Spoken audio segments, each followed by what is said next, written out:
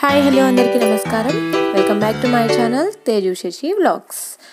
ఈ వీడియో కనుక మీరు ఫస్ట్ టైం చూసినట్లయితే సబ్స్క్రైబ్ చేసుకోండి. ఈరోజు నేను ఉప్మా ఎలా తయారు చేయాలో చూపించిపోతున్నాను ఇక్కడ నేను ఒక కప్పు బొంబాయి రవ్వ తీసుకున్నాను. సో ఇప్పుడు నేను స్టవ్ వెలిగించుకొని ప్యాన్ పెట్టుకొని బొంబాయి రవ్వని వేయించుకుంటున్నాను.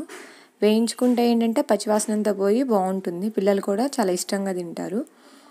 సో ఇప్పుడు నేను బొంబాయి రవ్వని సిమ్లో ఉంచుకొని ఒక త్రీ టు ఫోర్ మినిట్స్ వరకు వేయించుకొని పక్కన ఉంచుకున్నాను. ఇప్పుడు ప్యాన్ పెట్టుకొని ఆయిల్ వేసుకోవాలి.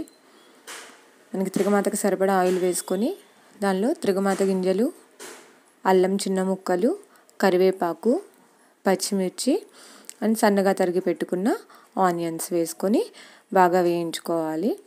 ఇక నేను టమోటా ముక్కలు కానీ ఇంకా మిగతా అవన్నీ ఏమీ వేయట్లేదండి. సో వీటి వరకు ఉంచుకొని బాగా వేయించుకోవాలి. ఈ ఆనియన్స్ అనేవి బాగా వేగిన తర్వాత ఇక్కడ నేను ఒకటికి మూడు కప్పుల నీళ్ళు తీసుకున్నాను. ఒక కప్పు బొంబాయి రవ్వకి మూడు కప్పుల నీళ్ళు తీసుకున్నాను. కొంచెం ఇదిగా కావాలి అంటే పొడి పొడిగా కావాలంటే ఒకటికి రెండు కప్పులు సరిపోతాయి. సో ఇక్కడ వేసుకున్న తర్వాత ఒక చిన్న కొంచెం సరిపడా ఉప్పు వేసుకున్నాను.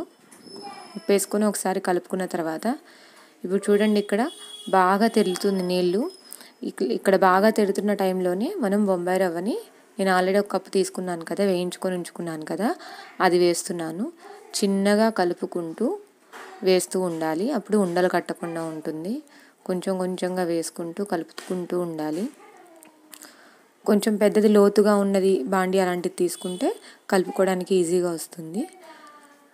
సో ఇక్కడ ఆ కప్పు దన్ కప్పు బొంబాయి రవ్వని వేసుకున్నాను. బొంబాయి రవ్వ వేసుకున్న తర్వాత ఎక్కువసేపు దాన్ని స్టవ్ మీద ఉంచక్కర్లేదు. ఒక ఐదు నిమిషాల లోపే ఉంచేసుకుంటే చాలు. మరి ఎక్కువసేపు ఉంచితే ఏమవుతుందంటే జిగట వచ్చేస్తుంది. సో దించే ముందు నేను ఏం చేస్తున్నానంటే ఒక టూ టేబుల్ స్పూన్ నెయ్యి వేసుకున్నాను. కొత్తిమీర కొత్తిమీర కూడా వేసుకున్నాను. ఇలా నెయ్యి వేసుకుంటే ఏంటంటే టేస్ట్ అనేది చాలా బాగుంటుంది.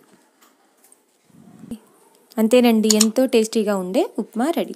ఈ వీడియో మీకు నచ్చినట్లయితే లైక్ చేయండి షేర్ చేయండి సబ్స్క్రైబ్ చేసుకోండి. పక్కనే ఉన్న బెల్ ఐకాన్ ప్రెస్ చేస్తే మీకు నోటిఫికేషన్ వచ్చేస్తుంది. నా వీడియోది థ్యాంక్స్ ఫర్ వాచింగ్.